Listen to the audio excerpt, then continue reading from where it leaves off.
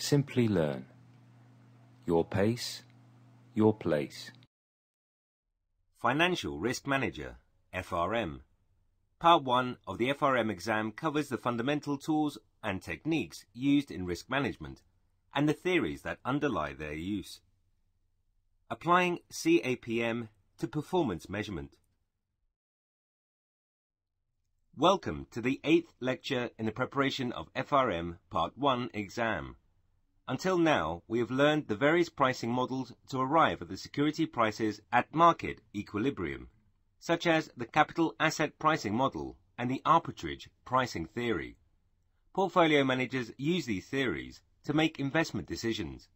It is important to measure the performance of the manager and her portfolio to check their comparative performances with the peers in the industry.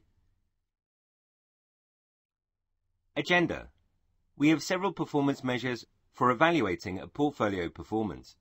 We will begin from measures such as the Sharpe ratio and the Treynor ratio that normalize the portfolio risk premium. We will then learn about the excess return measure or alpha and how the managers control the variability of this measure through another measure called tracking error. We will also study about some risk-based performance measures like the Morningstar and VAR-based measures. Treynor measures. The first performance measure, called the Treynor measure, is used to normalize the risk premium or the expected return over the risk-free rate. This is done by dividing the premium with the beta of the portfolio.